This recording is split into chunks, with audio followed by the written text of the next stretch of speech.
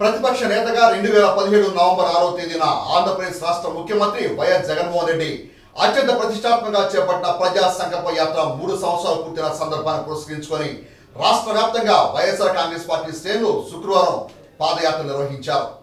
ప్రజల్లో నాడు ప్రజల కోసం నేడు కార్యక్రమం భాగంగా తెలంగాణ నియోజకవర్గంలోనూ తెనాలి శాసనసభ్యులు అన్నాపతి శివకుమార్ తెనాలి మండలం అంగనకుదురు గ్రామం నుండి కొరటూరు గ్రామం వరకు భారీ పాదయాత్ర నిర్వహించారు. ఈ నేపథ్యంలో దేశ చరిత్రలోనే చారిత్రాత్మక ఘట్టంగా నిర్మించినటువంటి ప్రజా సంకల్ప యాత్ర ఈ రోజుకి మూడు సంవత్సరాలు పూర్తి చేసుకుంది. ప్రతిపక్ష నేత హోదాలో ముఖ్యమంత్రి వైఎస్ జగన్మోహన్ రెడ్డి రెండు వేల పదిహేడు నవంబర్ ఆరో తేదీన ఇడుపులపాయలో ప్రారంభించిన ప్రజా సంకల్ప యాత్ర రెండు వేల పంతొమ్మిది జనవరి తొమ్మిదిన ఇచ్చాపురంతో ముగించింది మూడేళ్ళు పూర్తి చేసుకున్న సందర్భంగా వైఎస్ఆర్ కాంగ్రెస్ పార్టీ మొత్తం యావత్తు ఈ రోజున ప్రజా సంకల్ప యాత్రకి మద్దతుగా అన్ని నియోజకవర్గాల్లో పాదయాత్రలు చే- చేపడుతుంది దానిలో భాగంగా తెనాలి శాసనసభ్యులు అన్నాపతి శివకుమార్ గారు తెనాలి నియోజకవర్గంలో అంగళగుతురు నుంచి కొలకలూరు వరకు పాదయాత్ర చేపట్టారు. ఈ నేపథ్యంలో వారి యొక్క ఈ పదహారు నెలల పరిపాలనలో వారి అనుభవాలను తెలుసుకుందాం. సార్ నమస్తే అండి. ఈ పదహారు నెలల కాలంలో ప్రజా సంకల్ప యాత్రలో ముఖ్యమంత్రి జగన్మోహన్ రెడ్డి తీ- తీసుకున్నటువంటి నిర్ణయాలు అమలయ్యాయి. వాటి మీద మీ యొక్క అభిప్రాయం తెలుపగలరు.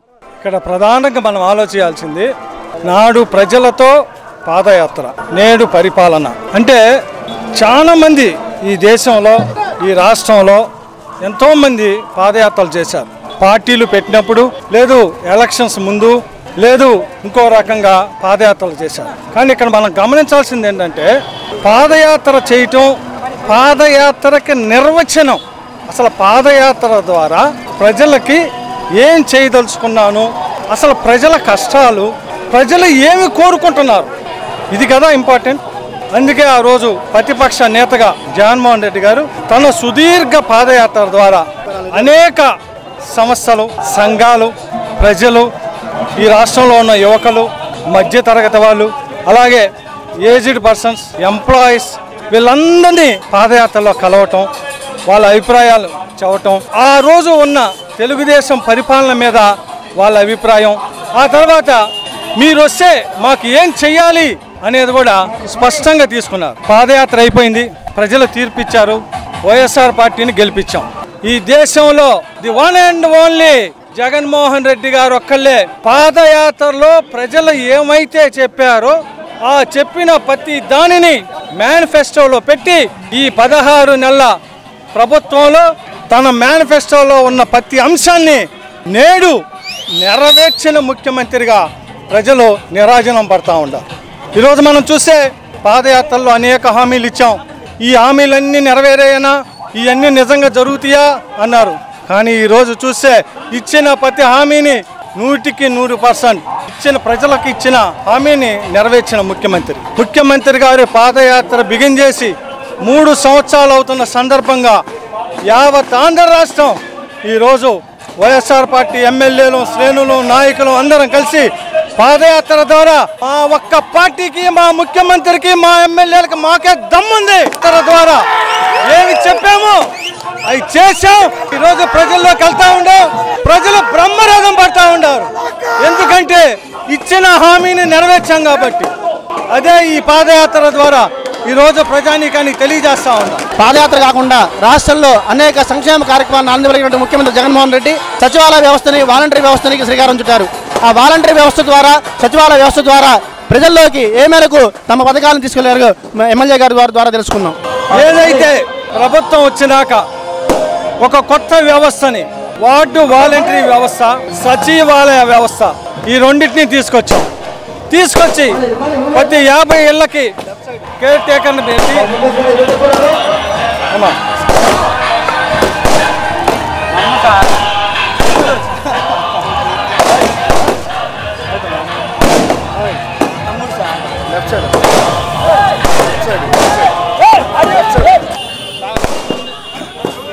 ఏమైతే ప్రజలకి అసలు సంక్షేమం అందియాలన్నా ప్రజలు ఒక సమస్య మీద అనేక విధాలుగా ఆఫీసులకి వెళ్తున్న సందర్భం మనం చూసాం ప్రతి సమస్యకి ప్రజలు గ్రామంలో ఉన్న ప్రజలు కూడా ఎంఆర్ఓ ఆఫీస్ చుట్టూ మున్సిపల్ ఆఫీస్ చుట్టూ లేకపోతే రెవెన్యూ ఆఫీస్ చుట్టూ తమ సమస్యల మీద తిరుగుతూ ఉంటారు అందుకే ప్రజలకి ఒక సత్వరమే తమ సమస్యను పరిష్కరించుకోవాలన్న ఒక గొప్ప దీంతో సచివాలయ వ్యవస్థను తీసుకొచ్చాం. ఈరోజు మనం చూస్తే ప్రతి గ్రామంలో ఒక సచివాలయాన్ని ఏర్పాటు చేశాం. ఆ సచివాలయ వ్యవస్థ ద్వారా ఆ సచివాలయం అన్ని సేవల్ని గ్రామంలో ఉన్న ప్రజల యొక్క అన్ని సేవల్ని ఆ సచివాలయంలోనే నెరవేర్చుకునేట్టు చేశాం. వాలంటరీ వ్యవస్థను తీసుకొచ్చాం.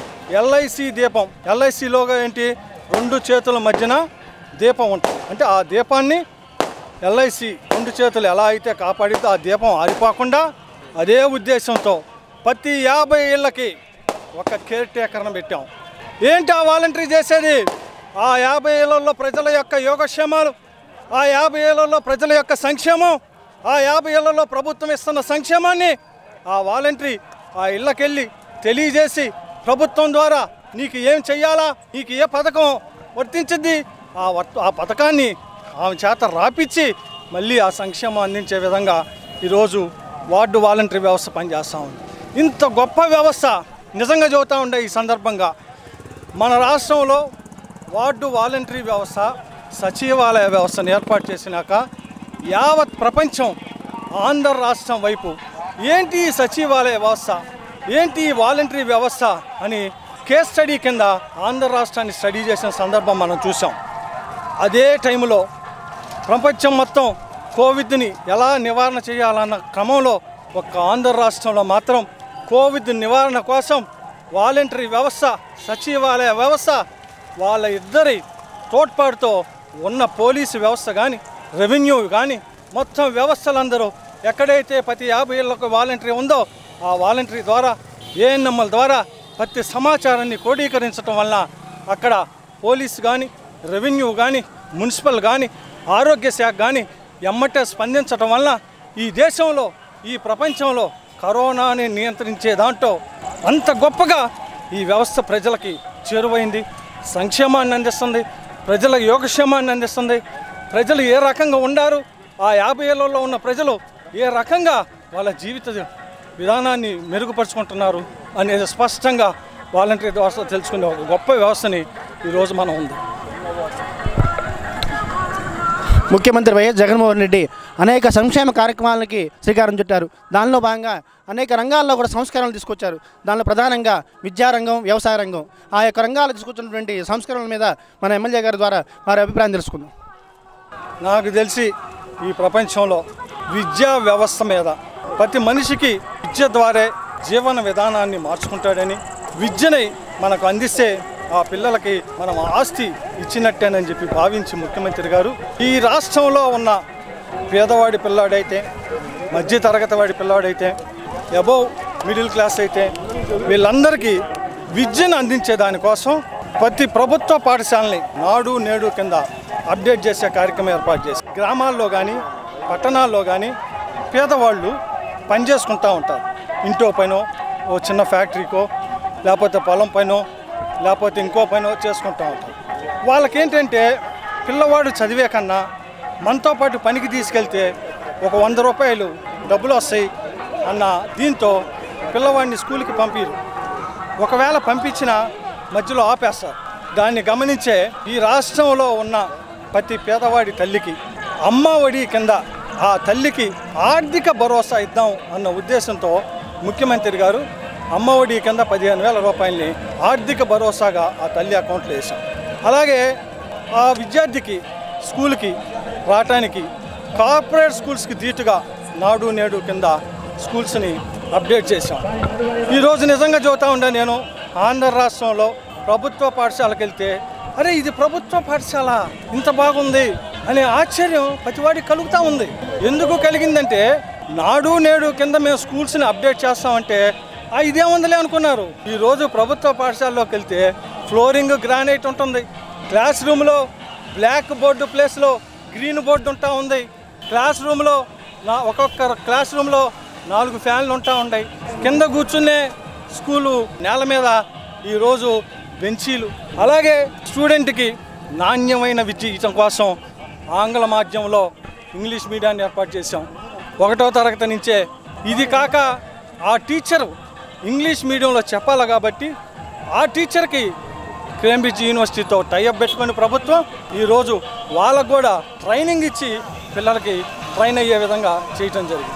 సామూహికంగా ఈ రాష్ట్రంలో ఉన్న పేదవాడు మధ్యతరగతి పిల్లవాడికి నాణ్యమైన విద్యని అంటే క్వాలిటీ ఎడ్యుకేషన్ ఈ క్వాలిటీ ఎడ్యుకేషన్ కనుక మనం ఇవ్వగలిగితే వాడు వాడి కాళ్ళ మీద నిలబడి బ్రహ్మాండంగా వాడు బాగా పనిచేసుకొని లేదు ఒక మంచి ఉద్యోగాన్ని పొంది లేదు విద్య ద్వారా వాడు విజ్ఞానాన్ని పొంది ఓ మంచి సంస్కారమైన జీవితాన్ని ఏర్పరచుకుంటాడన్న ముఖ్యమంత్రి ఉద్దేశం తొందరలోనే ఈ రాష్ట్రం విద్యా ఆంధ్రప్రదేశ్గా ఈ దేశంలోనే అత్యధిక శాతం బాగా చదువుకున్న విద్యార్థులు ఆంధ్ర రాష్ట్రంలో ఉండే విధంగా ఈరోజు మన విద్యా వ్యవస్థ ఉండబడుతుందని దాంట్లో ఎటువంటి అపనమ్మకం లేదు.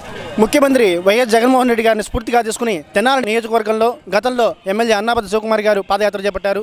ప్రజలతో మమేకమవుతూ వారి కష్టాలని వారి సమస్యలను తెలుసుకోవడం జరిగింది. ఈ పదహారు నెలల కాలంలో అవి ఎంత మేరకు సఫలీకృతమయ్యా వారి మాటలు తెలుసుకుందాం. ఈ తెనాలి నియోజకవర్గంలో గత ఐదు సంవత్సరాలు ప్రతిపక్ష నాయకుడిగా వైఎస్ఆర్ పార్టీ అభ్యర్థిగా గడప గడప వైఎస్ఆర్ చేశా పాదయాత్ర చేశా. నేను పాదయాత్ర చేసిన క్రమంలో నేను గడప గడపకి వైఎస్ఆర్ తిరిగిన క్రమంలో నేను స్పష్టంగా నేను పాదయాత్ర చేసేప్పుడు ప్రజలను కలిసేవాడిని. ఏమని? అమ్మ అప్పటి ఉన్న ప్రభుత్వం ఎలా ఉంది అని అడిగేవాడిని. మీరు ఇక్కడ ఒకటి గమనించాలా? నేను ఇప్పుడు పాదయాత్ర చేస్తున్నా. ఇప్పుడు కూడా అడుగుతున్నా ప్రజల్ని అమ్మా మా ప్రభుత్వం ఎలా ఉంది? మీకు సంక్షేమం అందుతుందా? నేను బాగా చేస్తున్నానా?